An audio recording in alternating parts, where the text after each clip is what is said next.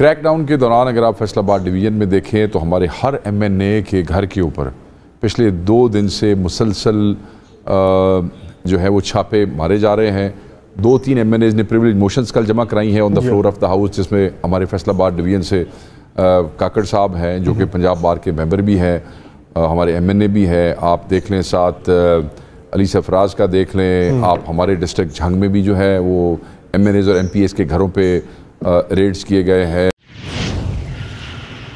असलकुम नाजरीन कराम शेख वकास अकरम ने एक बार फिर मुस्लिम लीग दून के बड़े राजों से पर्दा उठा दिया। नाजरीन ये शेख वकास अकरम साहब की गुफ्तु सुने इसके बाद इस पर तफसील से बात करते हैं। अब सारा उसका हम्म। फ़ायदा नहीं है मैं आपको ये बताना चाहता हूँ कि दो तीन दिन पहले से सख्त किस्म का एक क्रैक डाउन किया गया। लोगों को हरासा किया गया बंदे पिक किए गए। लाहौर में बंदे पिक किए गए फैसलाबाद में बंदे पिक किए गए। मुल्तान वाली साइड से बंदे पिक किए गए।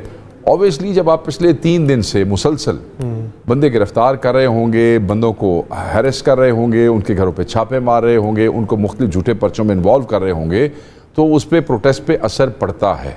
और हम्म। वही हुआ कि सख्त सख्ती के बावजूद इतने जबर के बावजूद जितना वर्कर के लिए मुमकिन था वो बेचारे निकले हैं। अगर किसी जगह पे एक को भी निकलने की वो मिली है ना जी तो वो भी वहाँ आके खड़ा हो गया है। हाशमी साहब मैं ये समझता हूँ कि ये इससे ये इंप्रेशन लेना कि जी अनइम्प्रेसिव था नहीं आप वो तो देखें कि किसके अगेंस्ट वो बेचारे बाहर आए सुबह में जिस सुबह में आप आप करेंगे रोक टोक कोई नहीं है केपी में आपकी अपनी घमंड है वहाँ हाँ, लोग तो वहाँ देखें ना बंदे बड़ी बड़ी तादाद में बाहर निकले तो मूवमेंट भी जब आप चलाने जा रहे हैं तो फिर पंजाब में तो अभी मूवमेंट देखें जैसे जैसे पावर अभी निकलेगी अभी हम जलसे करने शुरू करेंगे ठीक है। तो फिर असम दमाल चौकड़ी तो फिर तब होगी ठीक है। कुंडी साहब ये आ, कैसे निपटेंगे आप इस तारीख से कि अभी यानी अब छोटा सा प्रोटेस्ट था एक टोकन प्रोटेस्ट था जिसमें ये कहा गया था कि पाकिस्तान का झंडा पीटीआई का झंडा लेके आपने निकलना है बाहर और कोई यानी कि सिर्फ़ पुरमन आपने एहतजाज करना है। जब ये मूवमेंट लेकर मूवमेंट में तो फिर पुरमन नहीं होता मामला उसमें तो कुछ भी हो, हो सकता है। कल तो गंडा गंडापुर साहब ने कह दिया आपके सूबे से कि भाई सूबे के आवाम को लेकर इस्लामाबाद में कब्जा कर लिया जाएगा। तो कैसे निपटेंगे इससे आप यानी कि आपसे छोटा सा प्रोटेस्ट नहीं संभाला जाए उस, उससे आप इतने घबरा गए आप लोग? बिस्मिल्लाह रहीम देखें पुरमन प्रोटेस्ट जमहूरी हुकूमतों में जमहूरी उसमें जो है वो अलाउड होता है और जमहूर अगर पुरमन प्रोटेस्ट हो आ, मैं समझता हूँ कि जमहूरी हक है। आज पुरमन था ना? क्यों नहीं करने देगा देखिए ज़्यादा थी नहीं करना नहीं ना करने देना? मैं समझता हूँ कि जो भी हुकूमत है चाहे वो पंजाब की है के पी के पी की अपनी हुकूमत है बलूचिस्तान की है या सिंध की है अगर हम्म। पुरमन एहतजाज है तो उसको डेफिनेटली उसको होना चाहिए। अगर कानून को हाथ में लेंगे तो उसके ऊपर डेफिनेटली एक्शन होगा। हम्म। और जिस तरीके से आपने कहा कि कल सी एम के पी ने जो स्टेटमेंट दी है मैं नहीं समझता कि एक ज़िम्मेवाराना स्टेटमेंट है। उन्होंने ये कहा कि मैं मैंने ट्वीट किया उसमें मुझे गिरफ़्तार किया गया लेकिन मैं भी अमली तौर पर एक काम करूँगा हम्म। अगर अमली तौर पर वो काम करेगा तो डेफिनेटली कानून पर एक्शन आएगा। पहले भी वो नौ मई के चीज़ों पर भुगत चुके हैं अब दोबारा एक नौ मई करना चाहते हैं मुझे नहीं पता क्या करना चाहते हैं। एक सूबे का वज़ीर ताल्लुक खैबर पख्तूनख्वा से है? वाकता सूबे के लोगों में इतना ज़्यादा गम गुस्सा है सारी सूरत हाल के ऊपर कि वो आके इस्लामाबाद पे चढ़ाई सक्सेसफुल कर सूबे के डिफरेंट इतना एंगर है वाकई देखें सूबे के डिफरेंट इशूज़ हैं। आज भी मीटिंग में वजी अजम ने जो मीटिंग कॉल की थी उसमें उन्होंने जो अगर जो बात की है जिस पे कार्बन की बात की है या टबैको सेस की बात हो या हम्म। सूबे के हकूक की बात हो अगर वो अपोजिशन को अतमाद मिलेंगे तो डेफिनेटली अपोजिशन को साथ देगी। हम कहते हैं सूबे की तरक्की हो सूबे अमन अमान हो। हम ये नहीं चाहते कन्फ्रंटेशन के ज़रिए हमारा सूबा जो है वो पीछे चला जाए। सही। एक जब आप एक पार्टी आपका अपने एक पार्टी होती है और एक होती है कि आपके एक जिम्मेवाराना रोल भी है। एज ए सी एम आप हैं और आप पार्टी के सूबाई सदर भी हैं। आप सूबाई सदारत को फ़िलहाल साइड पर रखें आप पार्टी के अपने सी एम के पी की हैसियत से देखिए आपने दहशत गर्दी के खिलाफ जंग लड़नी है। इस वक्त हमारे सूबे की ये पोजीशन है कल लकी सीमेंट फैक्ट्री जो कि हमारे अपने हल्के में है उस पर जो जिस तरीके से कल अटैक हुआ है आठ हमारे जो हैं वो कस्टम इंटेलिजेंस के। लोग शहीद हुए हैं। अफसोसनाक हमारा है कि आज तक हमारे सूबाई हुकूमत को कोई नुमाइंदों के घर तक नहीं जा सका अफसोस करने के लिए। देखिए हमारे सूबे में ड्यूटी कर रहे थे। इस तरह जो लॉ सिचुएशन है उसमें अगर आपके पास वफाक हुकूमत की सपोर्ट नहीं होगी तो आप कैसे दहशत के खिलाफ जंग लड़ेंगे? तो बहुत सी ऐसी चीज़ें जिसके ऊपर आपको वफाक की सपोर्ट चाहिए। और मैं समझता हूँ कि जिम्मेवाराना रोल अदा करना चाहिए। हम ये नहीं कहते कन्फ्रंटेशन हो लड़ाई झगड़ा हो और हमारा सूबा होनी भी नहीं चाहिए।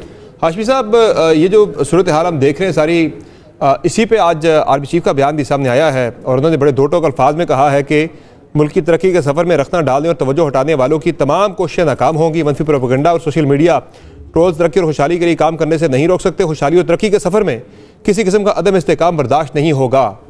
गवर्नमेंट की भी यही सोच है जो आर्मी चीफ की है भाई के आगे सख्ती से निपटा जाएगा। देखिए आर्मी चीफ जो है वो गवर्नमेंट के पॉलिसीज़ की के साथ ही चलेंगे। ऑब्वियसली ये आपको पता है इमरान खान साहब के भी दौर में ऐसा होता रहा।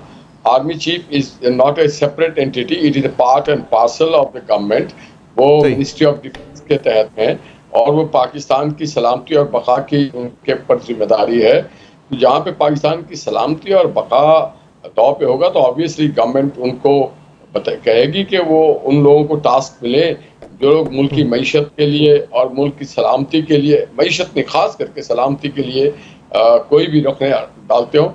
और मैं ये समझता हूँ कि इसकी ज़रूरत नहीं पेश आएगी क्योंकि आवाम समझती है कि किसके खिलाफ धरना। आवाम के खिलाफ जो आवाम आज बड़े मुश्किल से जद्दोजहद करके महँगाई के साथ जूझ रही है जो गवर्नमेंट और आवाम का एक अच्छा सा ब्रिज है जहाँ पे हमारी कोशिश है कि देखिए शहबाज शरीफ साहब ने गुजशत डेढ़ महीने के अंदर बेानतहा कोशिश की ईरान का वफद आया सऊदिया का वफद आया और मुख्तलिफ़ जो ट्रेड एंड कॉमर्स एक्टिविटी है वो परवान चढ़ रही है। तो ये मार पिटाई किसके लिए? ये तोड़ फोड़ किसके लिए? शख्स को रिहा दिला अगर वो समझते हैं कि वो बेगुनाह है बेकसूर अदालतों में जाए हम भी अदालतों में जाते तो, रहे हम भी अदालतों से रिलीफ लेते रहे। और मैं समझता हूँ कि वो गैर सियासी लोग हैं। वो एक लॉटरी में आते हैं वो कहते हैं हम जी बात करेंगे सियासी लोगों से नहीं करेंगे। सियासी लोग चोर डाकू वो फरिश्ते हैं। वो किसी और से बात करना चाहते हो तो जिससे बात करना चाहे करें। अगर उनका वो तो वो तो बात करना चाह ही नहीं रहे। वो तो बात करना चाह ही नहीं रहे। ये आपकी तरफ़ से रोज़ाना ऑफरें हम सुनते हैं। हाँ। ये पहली मतलब हमने देखा है कि कोई बंदा कैद है जेल के अंदर वो मुजाकर के लिए नहीं मारा जा रहा। गवर्नमेंट जो है वो बिछी जा रही है। अच्छी बात है होनी चाहिए। इस्तेकाम के लिए अच्छा है। नाजरीन कराम आपने इस प्रोग्राम में शेख वकास अक्रम साहब की गुफ्तु सुनी, जो पी टी आई के रहनुमा ये मंसूर अली साहब का प्रोग्राम था। नाजिन इन्होंने जो इनकशाफात किए हैं, जो नून लीग के बारे में जो कुछ बताया है, आप उन बातों से कितना इतफाक़ करते हैं? इससे पहले भी दो चार दिन हो गए या आप कह लें जब से पी टी आई में शामिल हुए शेख वकास अक्रम साहब, तब से ये ज़्यादा खुल के बोलने लग गए हैं। नाजिन इनकी बातों में बड़ा ज़ोर है, अवाम इनकी बातों को सीरियस समझती है। तो बोलते भी बड़ा खरा किस्म का बोलते हैं ये शेख वकास अकरम साहब।